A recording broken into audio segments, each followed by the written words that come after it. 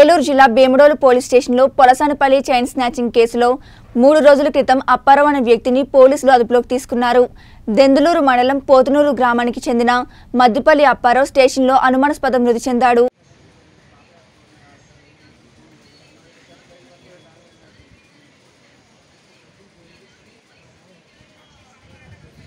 ఒక suspect Madipalli అప్పారావుకి station తీసుకురావడం జరిగింది. అతను నైట్ సెషన్లో ఉన్నారా? ఉదయం టిఫిన్ చేశారు? టిఫిన్ చేసిన తర్వాత స్నానంకి లోపల టాయిలెట్కి వెళ్ళారు?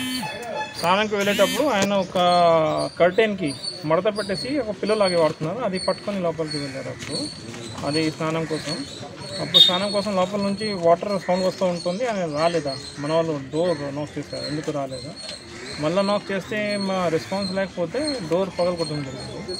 అప్పుడు లోపల చూస్తే ఒక ఫ్రేమ్కి ఆ కర్టెన్కి కొంచెం మడత పెట్టి కర్టెన్ ద్వారా ఆ ఫాషన్ హ్యాంగింగ్ చేయడం జరిగింది.